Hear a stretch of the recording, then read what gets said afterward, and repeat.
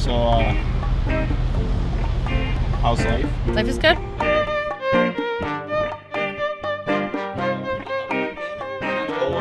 Yo, what up, boys? What up, bro? How you been? I was at this girl's house. We were smoking, we were drinking, bro. You wouldn't believe it. What the hell are you doing here? Sorry, I have a massive hangover right now.